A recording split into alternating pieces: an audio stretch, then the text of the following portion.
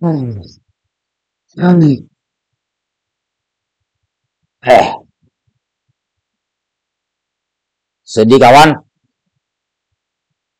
Sedih.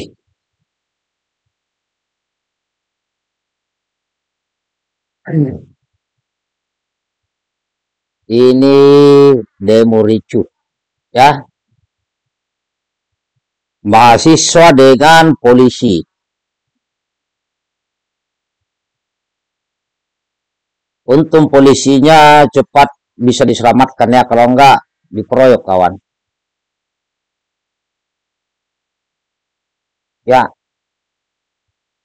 Ingat kawan, mahasiswa yang turun demo adalah dalam rangka menyuarakan aspirasi sebagian besar rakyat Indonesia agar BBM kembali diturunkan. Kemudian aparat Polri bertugas untuk mengamankan jalannya aksi. Tapi ternyata bentrok kawan. Jikalau pemimpin di daerah tersebut, entah gubernur, entah wali kota, bupati, anggota DPR setempat turun turun ke jalan menyambut mahasiswa demo, saya yakin tidak akan terjadi bentrok seperti ini kawan. Ya. Dan itu beberapa kali pernah terjadi. Yaitu di aksi aksi besar-besaran ada perwakilan dari pemerintah baik itu eksekutif maupun legislatif Aman demo itu. Perlu diketahui kawan, mahasiswa yang demo ini adalah mewakili hati sebagian besar rakyat Indonesia. Bahkan bisa jadi mewakili ya abdi negara karena BBM naik. Cuma kan abdi negara nggak bisa demo. Dan sangat disayangkan jika ada aparat yang dikeroyok ini sangat disayangkan. Ingatlah, mereka semua aparat Polri yang turun menjaga keamanan itu dalam rangka meyakinkan supaya aman. Jadi kalau ada yang datang aksi niatnya untuk mau mengeroyok aparat, janganlah kawan, jangan. Karena aparat itu juga punya keluarga. Dia punya keluarga yang berdoa agar suaminya atau orang tuanya ya selamat dalam menjalankan tugasnya.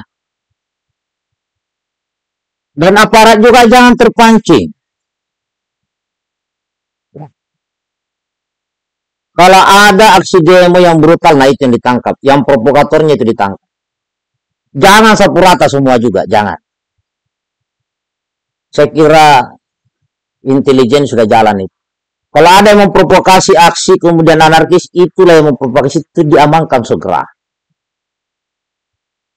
Jangan brutal, jangan sampai bersama ratakan yang yang yang tidak anarkis kena, maka akhirnya dia jadi ikut anarkis. Ini saya lihat akan semakin banyak aksi demo ke depan. Mari kawan, saya juga ini akan turun ke jalan juga. Tapi saya ajak saudaraku yang aksi-aksi, jangan ada niat datang ke tempat aksi itu hanya untuk cari gara-gara. Ribut, apalagi menghantam aparat yang ada di lapangan. Jangan. Begitu pun sebaliknya, yang saya ulangi lagi aparat keamanan yang dibawa sedang jaga agar bisa menahan emosi.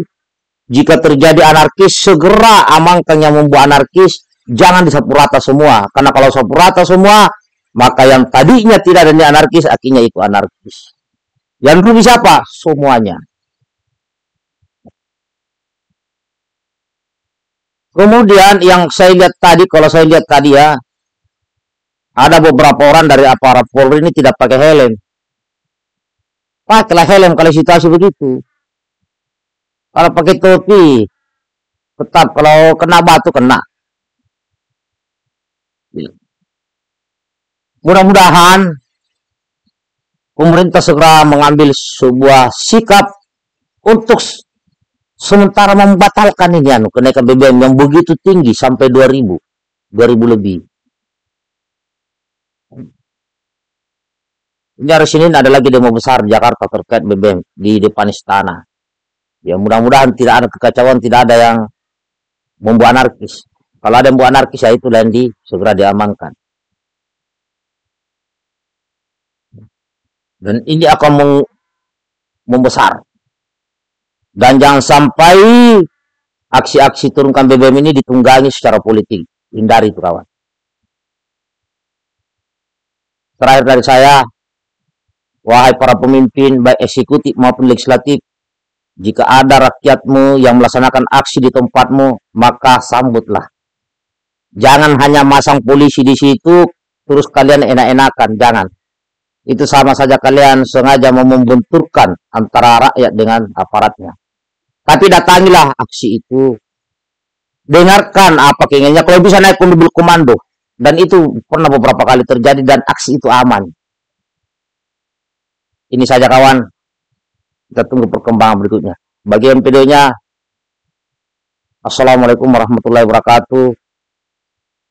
Merdeka, NKRI, harga mati.